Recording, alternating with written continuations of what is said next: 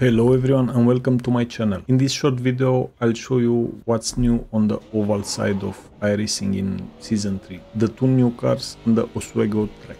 This one is the Eagle T3. I'll drive it for the rest of this video so let's quickly look at the other car, the Casino M2.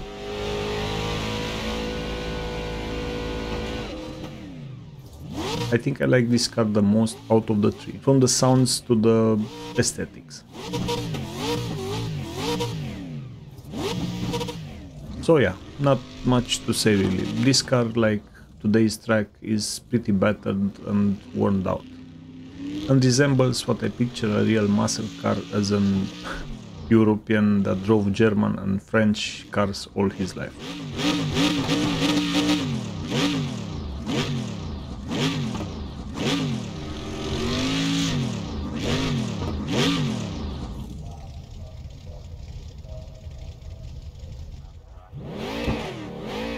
And this is the old street stock for reference.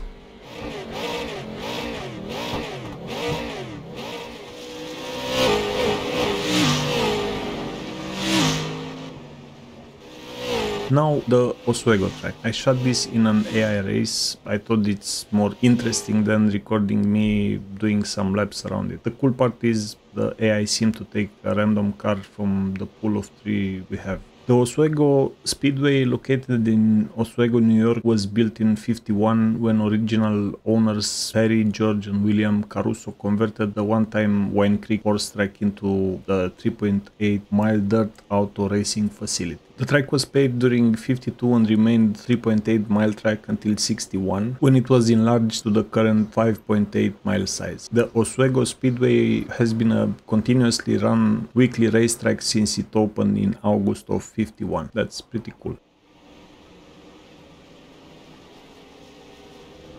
So the track is old and it shows. I'm not a fan of uh, short ovals like this, but I might become one because I can see the fun just from racing the AI around. Everything looks pretty good. I especially like the old power poles scattered around it and the attention to detail on and outside the track. If you go back to those shots taken from above, you can see there is some attention to detail in the distance. A road here, a farm there, a parking lot over there. This means you won't see ugly stuff even if you go up that high, unlike other tracks. I just love more rubber on the track to be honest. It's like who did it was a bit too shy with the decals and some impact patches on the white wall to the right. Whatever, the 3D artist in me is taking over.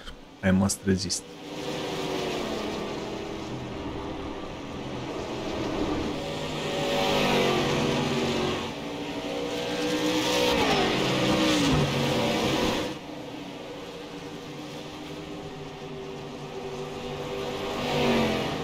The stands on the sides are crammed with people. Bro, it looks like an accident waiting to happen.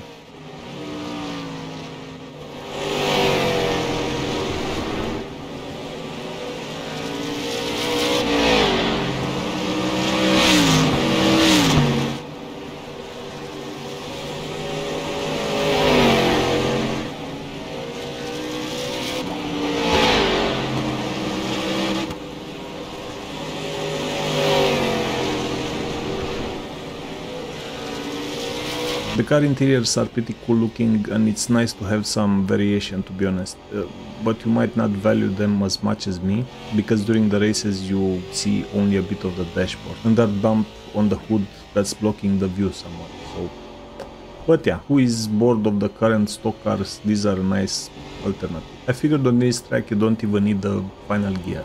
Third is all I needed, as I got the RPM light at the point when I was going to lift to the corner anyway.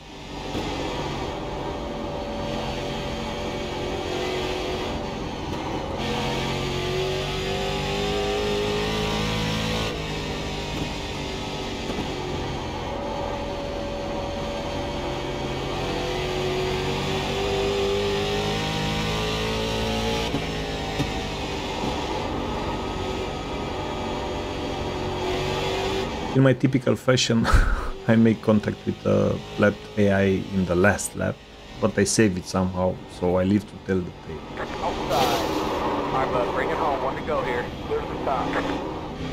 And this is it with the new content. Until next time, Take care and see ya.